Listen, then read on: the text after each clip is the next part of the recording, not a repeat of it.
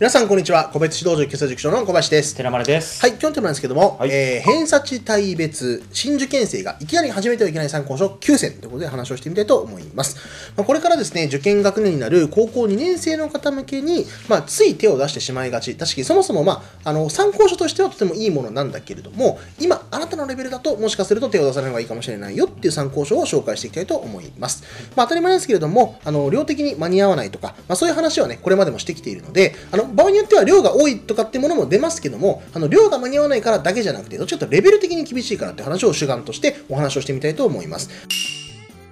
ではまず最初に偏差値50以下くらいの方向けの話をしてみましょうはい。偏差値50以下の方向け、まず1冊目が英文ポポラリスのレベル1ですね。で、まあ、偏差値によってはいきなり1冊目で使って全然 OK っていうそうだと思うんですけども、やっぱ英文法の本当に基礎の部分ができていないと、解説とかを見て逆に混乱しちゃうこともあるかなと思って、ちょっと挙げさせていただきました。確かに偏差値はい50以下だと中学文法がちょっとまだしっちゃかめっちゃかの方もいますからねはい、そうですね。で、やっぱりこの参考書、あくまで、まあ、解説ついてるんですけど、言うても問題集 issue. っていうものなので、うんうんうん。あのいきなりこう英文法を理解しない状態で使うとこう詳しい文法の解説が載っているわけじゃないので結構進めるのにも苦戦しちゃうかなっていうところで確かにね。やっぱ偏差値50に届いてない場合はまずは一旦こう大岩先生の一番初めの確かに。文法だったり石井先生のゼロから英文確法、まあ、あるいはスタディサプリなんか使いながら、うん。まず基礎的な小池参考書を挟んだ上でやるのがいいのかなと思いますね。そうですね。はい。では次参りましょう。はい、続きまして入門英文解釈の技術70ですね。うん。確かにね。入門と言いつつ難しいから。そうなんですよね。まあ結構はこう英文解釈で入門って書いてある方で手出しがちだとは思うんですが、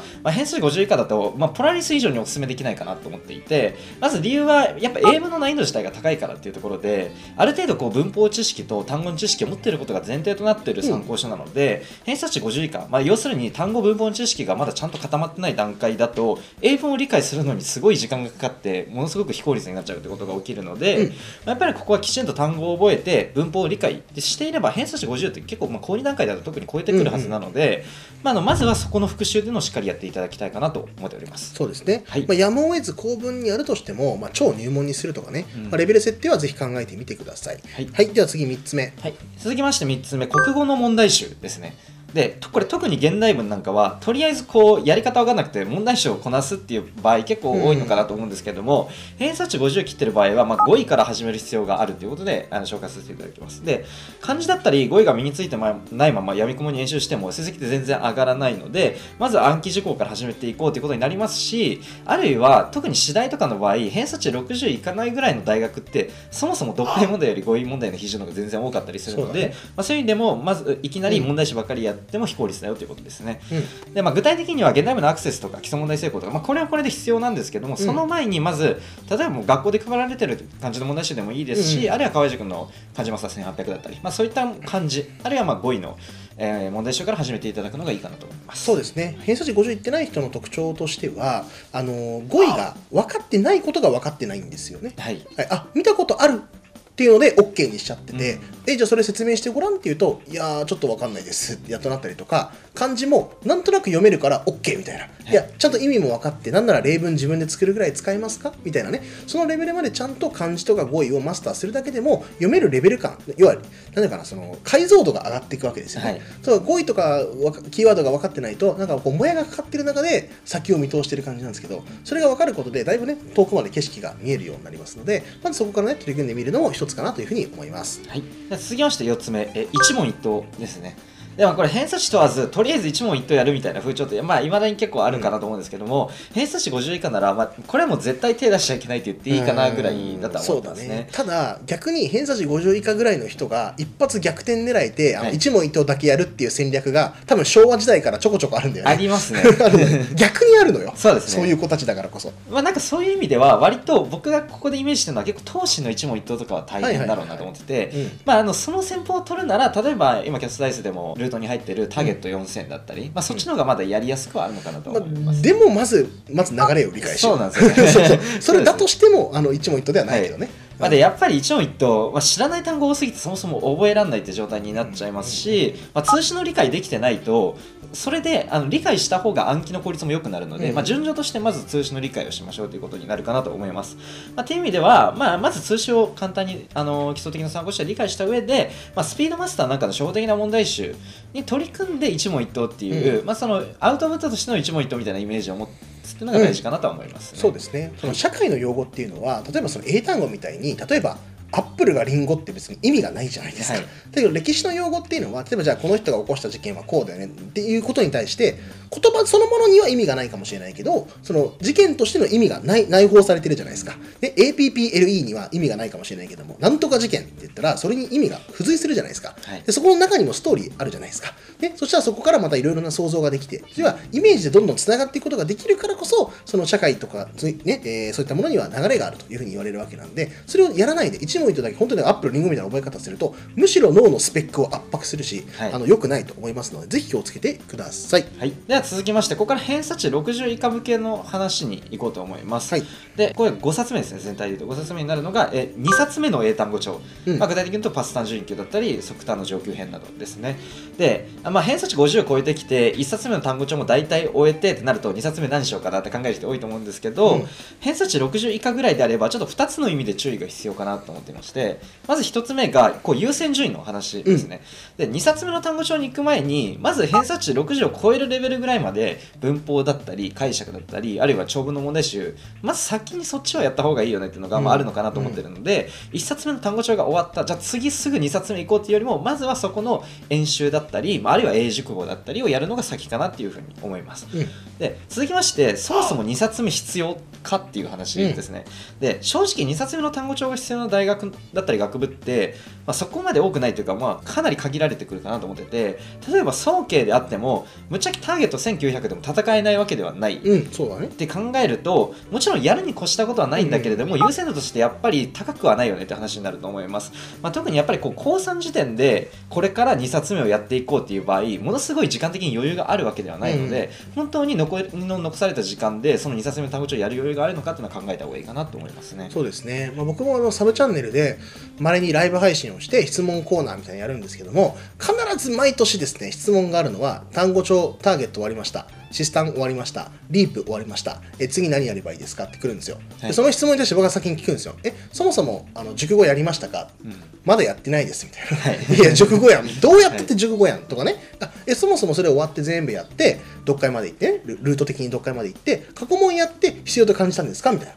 過去問はまだ見てませんみたいな。先に過去問でしたみたいな。そうね。その本当にそのもったいないですから、時間がね自分に必要なものをやっていくんで、はい。当然ねやらないよりはやった方がいいんだけどその自分にとって一番その効くものですよね、そのツボの部分を勉強してほしいなというところで2冊目の単語帳は要注意かなと思いますね。はい。続きましてちょ参考書じゃないんですけれども、うん。スタサブだったり予備校などの、まあ、映像だったり授業の、まあ、受講っていうことでほ要するに、まあ、いわゆるこう偏差値50から60ぐらいの、まあ、標準レベルって言われるレベルだとそこまで映像授業が効果的じゃないんじゃないかなってちょっとこれ個人的な意見もあるんですけども、っていうのもこう参考書よりも授業の方が刺さる可能性があるのって結構そもそも参考書を読むことに耐性がついてない本当に基礎のレベルだったり、うん。あるいはかなりこう難しい解説が必要なはいはいはい発展レベルっていうところがこう授業との相性がいいところかなっていうふうには感じていてうん。なんかそういう意味ではいわゆるこう偏差値50から60ぐらいって、まあ、いわゆる英文法の普通の標準的なレベルの演習とかであの参考書でも十分理解ができるのかなっていうふうに考えると、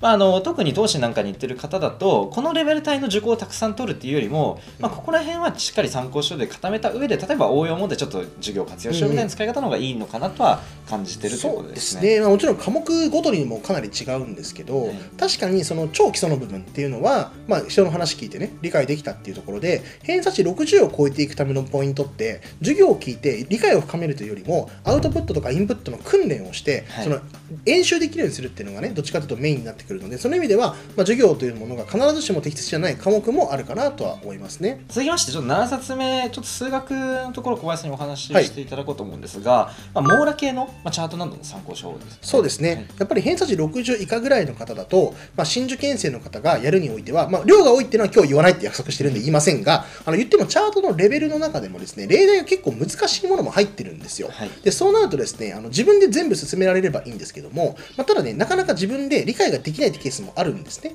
で特にまあ星さん以下かであれば、まあ、ある程度自分でね、あの人たち50代の方でも対処できると思うんですけど、ちょっと難しい問題だと自分でね、解き進められないってケースもあるので、あのそうなってくると、まあ、正直、あんだけね、膨大なものがあって、そんで分かんない問題がいっぱい出てきちゃうと混乱すると思うんですよね。であれば、最初から少し問題数を絞ったり、レベルをね、制限して、例えば基礎問題成功から進めるとか、そういうやり方をやった方が、もし独学をしていくならいいと思います。まあ、もちろん、例えば週に1回、2回、必ず先生に質問できる環境があって、分かんない問題は全部聞けますみたいなことであれば、まあ別にね、レベル的には、まあちょっとボリューム的に多すぎるっていうのは置いといて、レベル的に別にまあ青ちゃんでもいいかなと思うんだけれども、まあ多分ですね、今まで勉強をあまりね、たくさんやってきてないのであれば、基礎問題成功とかで、ある程度自分が分かるところでまず帰着させた方が、後々、まあ理解が深まっていきやすいのかなというふうには思いますね。はい、では続きましてここから最後偏差値70以下まあ結構だから60以上70以下っていう上位生向けの話になるんですが、はえーまず全体で8冊目ですね。漢文早覚え即答法っていうことではい。あこれまで結構難しいよねって意味であのいさいきなり使うのやめようって話だったんですけどこれは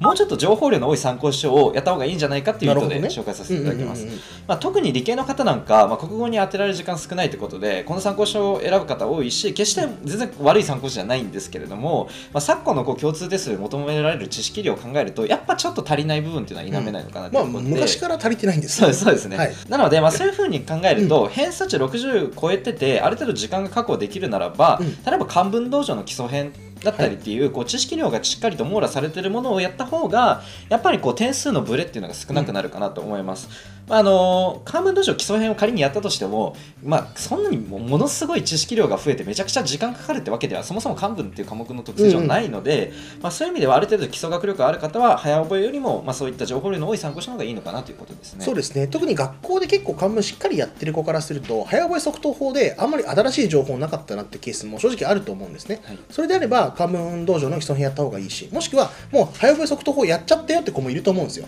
であればまあ家計とキーワードですよね。いつも僕らが言ってるあっちをまあプラスしていただいて、まあ、漢字とかの知識をもうちょっとアップデートしていただく、まあ、ビルドアップしていただくって方がまあ有効なのかなというふうに個人的には思います。というのもやっぱりそのあの1冊だけであの言っても共通テストの50点分なわけじゃないですかなのでそんな1冊だけサクッとやってそんな9割とかはなかなか取れない わけですよ、でしかも1問あたりの、ね、配点も大きいしね。うんそういうことを踏まえると、まあ、特に文系でね例えばまあ東大京大志望で二次試験もねあの、まあ、古文とか漢文ありますよみたいな人は少しねハイレベルなものをやっておいてもいいのかなというふうに個人的には思いますね、あとはまあ東大でも理系の方はね漢文最後に出ますからね。はいということですね。では最後になるんですが、まあ、全体で9冊目ですね。こちらちょっと数学なので小林さんの方からはい。お話しいただこうと思うんですが、うん。え1対1対応？そうですね、はい、1対1対の数学を受験生でやるのは僕全然いいと思うんですけど、偏差値70以下ぐらいの人だと結構二極化するんですよ、はい。あのやっぱあの回答解説でやっていけるよってことちょっとしんどいなって子がいると思うので、はい。あのそれはまああのやめろっていうよりはちょっとちょっとまあ問題5問ぐらいちょっと解いて